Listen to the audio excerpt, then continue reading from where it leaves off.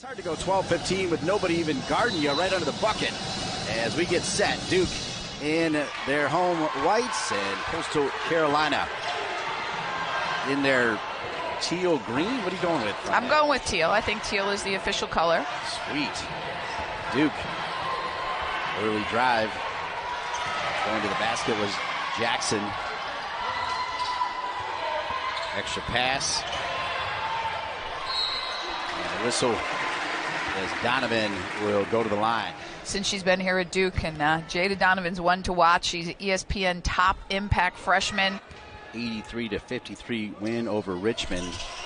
Coincidentally, in just kind of a random stat, Georgia Tech beat Coastal Carolina by the same identical score, 83 to 53. We got to play the lottery tonight on that one, right? Long distance shot off the front of the rim. Coastal Carolina, led by Kevin Pedersen, now in his second season. Of course, Duke, led by Kara Lawson. Good to spend time with Coach Pedersen. He's a bright light. What a great guy. And he's a great coach. He has 444 wins as a head coach, almost a 70% winning percentage. I mean, he's done a great job, and we'll talk a little bit more about him later. Three from deep. And the biggest player out there, Kennedy Brown, at six foot six, makes it look easy. Three nothing Duke. Blue Devils really want to establish themselves as a three-point threat. And Kennedy Brown, the transfer from Oregon State last season, one of the returning, one of two returning starters for this Blue Devil team. Little pinch post action by Coastal Carolina. Well defended by the Blue Devils. And when you're in that pinch post, you got to hug that ball and squeeze it. And Kennedy Brown gets a hand on it, knocks it loose, sets up that three and the offensive board. And there's Jadyn Donovan, the freshman. Without question, the number one staple of a Kara Lawson basketball team. And they turn it into two. It's 5 0, and they cause another turnover. Can not give Duke second shot opportunities tonight. Duke already two for three from the floor. Another three and money. I feel like that was one that Coach Pedersen was willing to give away. We'll see if they step out. On the outlet, extra pass for deep. Jackson goes around the rim. Offensive rebounds in for Donovan. That's going to be a timeout for Coach Pedersen. This is exactly what he did not want to do. Really enjoyed talking with him today. Yeah, he said his family always made the Myrtle Beach area where Coastal Carolina is located a vacation destination, and it was one of his three choices, the only three that would leave Lander. He wouldn't give us the other two, but he's settled in at Coastal Carolina. Richard Brown there, I think you got to do a heat check. Said she's going to drive to the basket, and she'll go to the line and shoot two.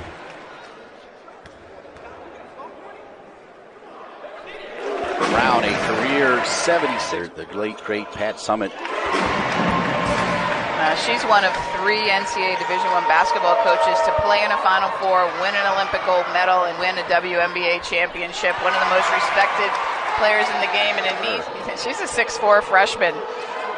Uh, he said she's super skilled. He said she had a bunch of Power Five offers and she chose to come to Coastal, so he's really excited about what she brings to the team. And there's another drive to the basket. Oh, she's a freshman. McDonald's All American nominee. She scored over 3,000 points in high school, so she knows how to put the ball. From Duke to initially break it. Now they'll set up their offense. Double high post set. Kennedy Brown's Brown. feeling it. Couple feet in from the three point line, but same stroke. She's got eight. That's great footwork. A little reverse pivot, faces up, and knocks it down. See what Stack can do. Step back deep. That's a nice shot. I thought we might have to have our producer Chad Lampman come down and get that ball out of that hoop. No problem though. Brown finally misses. Stack with the rebound. That's Riley Stack in there at 6'4. She's going to make things a little bit more difficult under the basket for Kennedy Brown. Another step back smooth from Richardson. She's starting to settle in. Coach said she was a big time guard. Cut this lead to eight. Donovan, Brown, left hand. Good defense from Stack, the freshman ready. They've turned it over six times already, Debbie. Almost seven. Which looked like Duke was going to run out of the gym with this one. Coach Pedersen called the timeout, kind of let his team have it a little bit, and I think he told them to crash the boards. First free throw not there. Second one. She gives them a lot of length and, and depth, and great on the glass. Duke shooting 43%. That's a tough shot to make and make it look easy as Jackson. Again, Chanticleer is just probing the defense, trying to get into the paint. Comes up short. Here comes Duke in transition. Right at the elbow. Jackson, who started the transition, now will get the play call from Coach Lawson. Emsbo, number 21, is into the game. That's a deep three, and that's nice opportunity to see some of these very talented freshmen for Duke. Shot clock violation. She looks like a stat stuffer. I think she's going to produce some big numbers here at Duke.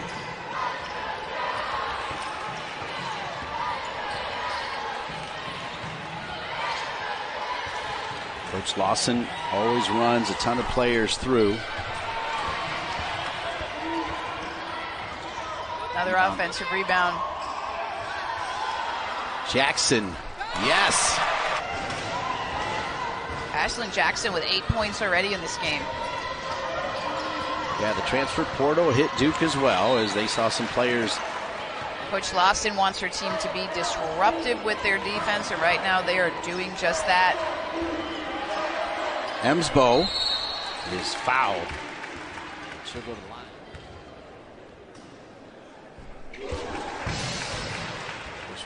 It's got to be nice for the Duke coaching staff to see what a variety of scoring weapons they have.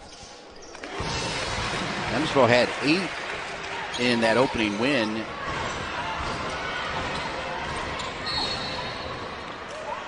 She's going to get called for the foul. We're going to need her to step it up in this game.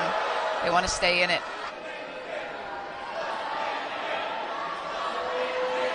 Seven point two seconds remaining here in the first. And miss both. Jackson, extra pass and a good one. They get it off in time, but off the back. Duke back to back buckets, and the turnovers and the offensive rebounds are just really killing him right now. Brown, who's three for five, gives up a great pass, and Jackson now with ten, tying Brown for the leading scores in the game, both in double digits. Speaking of tens, attacking the basket is number 10, Carter. Carolina is being forced to take right now. That was Brown who caused that difficulty, and it's Jackson's night. She's on Monday night, it was all Reigan Richardson with 28 points, and she's on the bench right now with two fouls. So in comes sophomore Ashlon Jackson, and she's just having a great game as well. Brown. Year at Tennessee State, an all Sun Belt third team selection. They need her to exert her passion in this game, and another missed free throw. That's going to go off Brown.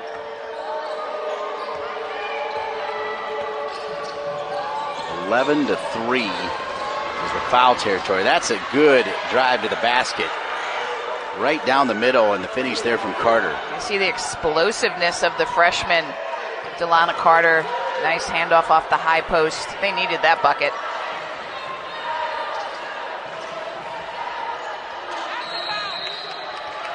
Tie up. Possession arrow belongs to Coastal. It's a really interesting. He wants to be a team that people have to prepare to play. Nice little back cut off the high post. That's going to be, oh, they're going to call foul. Looked like the travel. Right now, they've taken eight free throws to Duke six, and that's what Coach Pedersen talks about. He talked about the free throw, free throw. Now it's going to go into this zone. Mair. Ball scramble. Good hustle there from Carter. Six players for Duke with two fouls. And we've got six minutes to play. For them to get into a rhythm. No, they had 10 players who averaged 13 minutes or more. They had seven different leading scorers over the course of the season. They had so much depth. Very different Duke team this season, but some really nice pieces that we're getting to see in these first two games. Yeah, and they have that same defensive mentality. Taina Mair sent to the free throw line. We talked about her, the transfer Six from and a half assists and almost two steals a game as a freshman. I mean, that one of the one of the top in the country. I think there were only two other players that did that. Pulled out of the air by Carter. Carter can push it, and she'll go to the line. You know, I love you talking about her 3,000 points. Then I've seen her do it over and over again today. Zone, and you'll maybe get to see a little bit of the interesting slides. They have great weak side rebound, a little dance on the line there. Good rebound. Thomas gets bailed out by Koabel. Played on the U19 Canadian team. Another more role player for Duke last year that we expect this game. And coaches, like we said, they're still learning what lineups. Duke getting a lot of opportunity tonight to work on their full court pressure. Char Abron, the junior from Mississippi, has checked in for the Chanticleers. They trail 34 to 15 with 4:45 remaining, and another 15 fouls called against her Duke team. Players and points though, and you're seeing those. And she's got three rebounds, doing a little bit of everything. That's it. Middle and opposite, right through the press,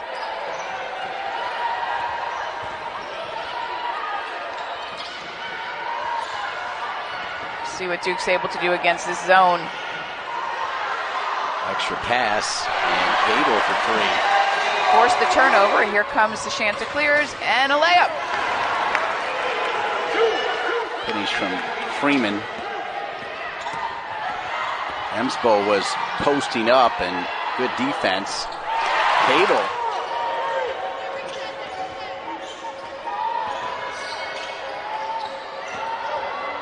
Carter hangs in the air, gets it out to Freeman. Freeman drives in, up and in.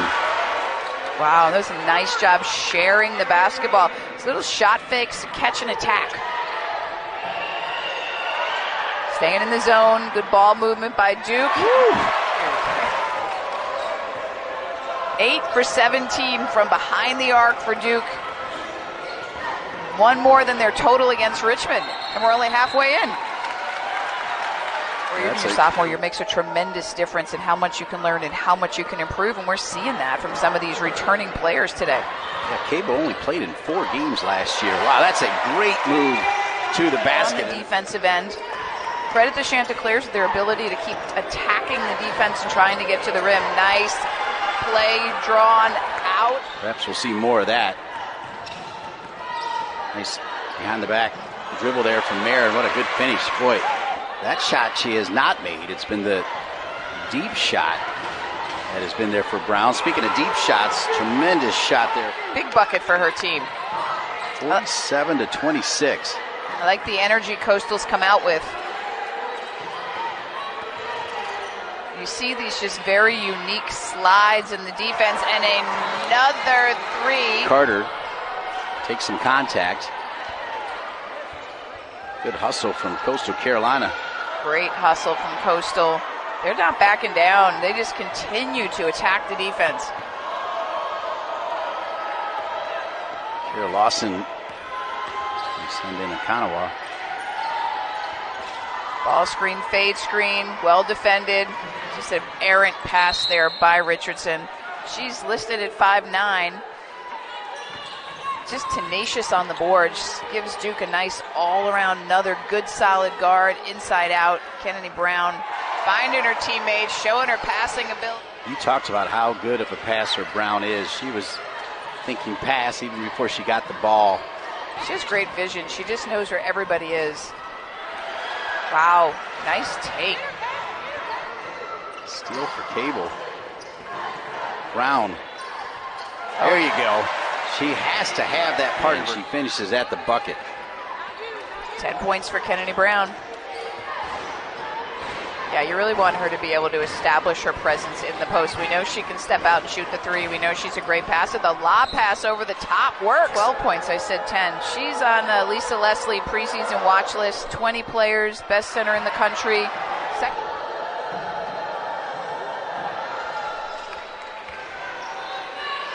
She can shoot at a high percentage from three. That'll really open up the court for the Duke Blue Devils. And all this variety of talent for Duke. Koabel, yes, Koabel. Carter all by herself. Nice backside rebound. They continue to extend their defense. Long distance shot. Jackson. Yes. And another one for Jackson. Four for eight from behind the arc, and that is 12 for 24 for the Blue Devils. But there is the nice little three point barrage going on 12 for Duke, three for Coastal Carolina. Emsbo away, and Kara Lawson loved it. It completely eliminated the fact that, as you said, the pass was an errant pass, everything but the finish. Thomas had position for a moment. Jackson sets her feet. Yes. Right after we talked about, she's the only player without a point for Coach Lawson. 66 to 34. And here's the other irony of this game. In the opener, we talked about Richardson and Okananwa. They combined for 50 points. Right now, they combined for five. Stop her. You can't do that against Duke.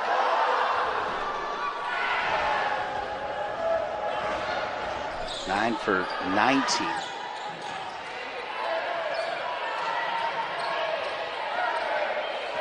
Woods also got good size. That's a nice finish from. And and in in the game against game against Richmond, she started, but she didn't score. Nice transition. Look at. A lot of speed and athleticism on this Duke team. They like to get out and run in transition. We saw a lot of that the other night against Richmond. That's the first day of practice, the weave right there, right? Right out of the gates. Have to live. Good awareness. Stepping behind for three. Good rebound. Donovan bringing it here. Coach Lawson backing down. Up with the left. That's she's showing you a little bit of what she's got in her tool belt. She can score outside. She can score inside. She's a tall guard who can post up and finish around the rim. Three-time gold medalist with USA Basketball, Jadyn Donovan. Kanje. It's a great job, Kanje, just beating a slower defender to the rim from the high post. Duke's getting a little sloppy right now, and just because you've got a significant lead, okay, why not? There it is. Wood with the three. Six-four freshman, the last one to get in the stat sheet.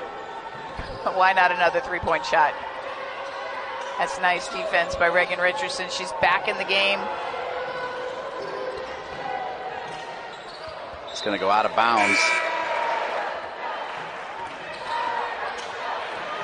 Wood was coming for the high screen, but Brown said she's got it. Yeah, that's a oh, good idea.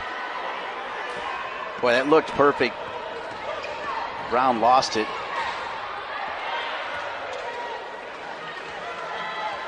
Good hands from Duke as Abron, the junior, go down low, taken away by Wood. Wood. Riley Stack trying to get that pass over the top. Wood with the great defense. And the pass, too. Assist Wood. That opener at Richmond hasn't played a lot in this one due to foul trouble. So it's been Ashlon Jackson who's stepped up and gotten it done, but she gets the ball in her hands and she knocks it down.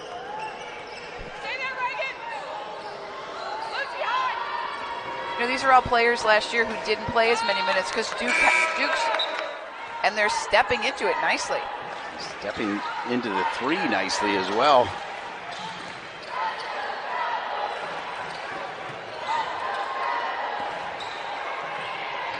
That's a tough shot.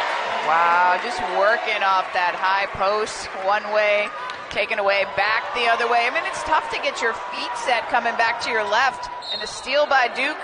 Stack tries for the defense, jumps out in front, go the other way. Kennedy Brown with a nice handoff. Double double in her opening game. Worcester Academy, number 27th ranked recruit by ESPN in this in the class. Gonna go out of bounds. For a lob pass to Brown, right back in to the inbounder.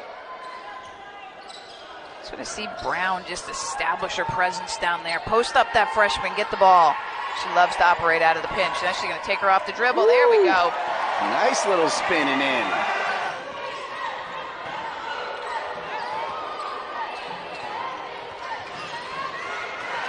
Kennedy Brown fronting the post, not letting it in there. Nice deflection, good footwork, get around. Yeah, they're battling down low, and Brown is winning that. That's a good runner. Give Abron credit. Opportunity to shoot her third shortly thereafter, but decided not to. Coastal Carolina going the other way. They trip and fall. Picked back up by Duke. Duke's got numbers here.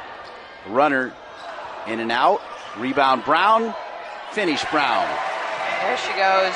Seeing the quickness of Wood here as she gets a good run in the final quarter from Coach Lawson. Get that shot to win the national championship for Notre Dame. Diana Taurasi. If you get a chance, make sure you get out to Cameron on Sunday. What a treat we will have to have. She's so tenacious on the glass. I just like to see a little more power in the paint, whether it's posting up on the offensive side of the ball, grabbing some rebounds. Wood thought about a shot. Jackson. Coastal Carolina go the other way.